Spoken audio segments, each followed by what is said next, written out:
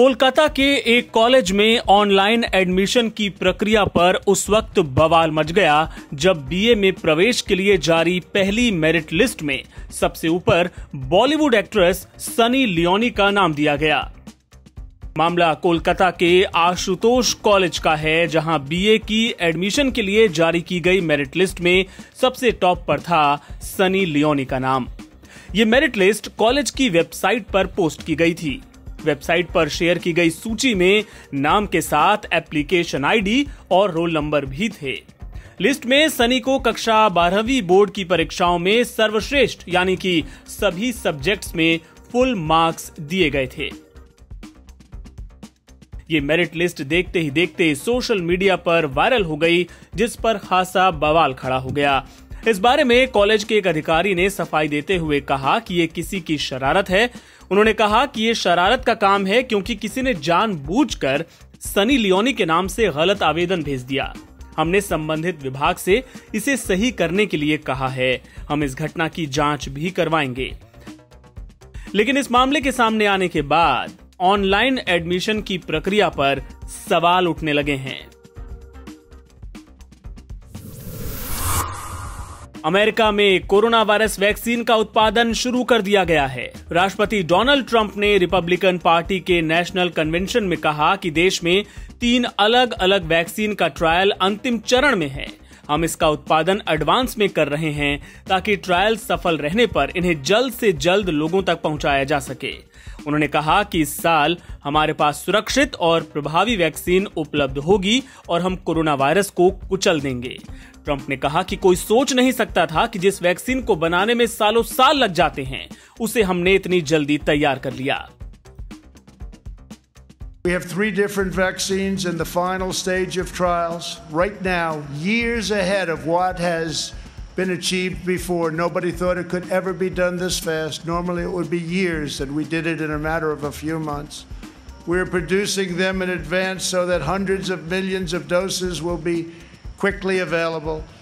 We will have a safe and effective vaccine this year, and together we will crush the virus.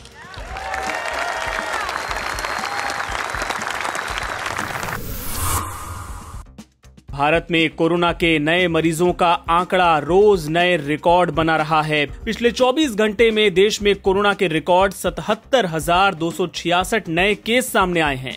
ये corona के मामलों की अब तक की सबसे बड़ी उछाल है। इसके पहले एक दिन में इतने कोरोना केस कभी नहीं आए थे। इसके अलावा पिछले 24 घंटों में एक हज़ार सत्तावन मरीजों ने इस महामारी के कारण जान गंवा दी। देश में कोरोना के कुल मामलों की संख्या अब तैतालीस लाख सत्तासी हज़ार पाँच सौ एक पहुँच गई है। अभी सात लाख बयालीस हज़ार तेईस केस एक्टिव हैं, जबकि पच्चीस लाख तिरासी हज़ार नौ सौ अड़तालीस लोग ठीक हो चुके हैं। कोरोना के कारण अब तक इकसठ हज़ार पाँच सौ उनतीस लोगों की जान जा चुकी है। राहत की बात बस ये है कि रिकवरी रेट छिहत्तर परसेंट से ज़्यादा हो गया है, साथ ही मृत्यु दर गिरकर एक दशमलव आठ दो फ़ीसदी हो गई है। इधर राजधानी दिल्ली में कोरोना एक बार फिर से सिर उठाता नज़र आ रहा है। गुरुवार को यहाँ कोरोना के 1840 नए केस सामने आए जो अगस्त महीने का सबसे बड़ा आंकड़ा है। इसके पहले बुधवार को सोलह और मंगलवार को 1544 केस सामने आए थे। दिल्ली में फ़िलहाल कोरोना वायरस के 13,208 एक्टिव केस हैं।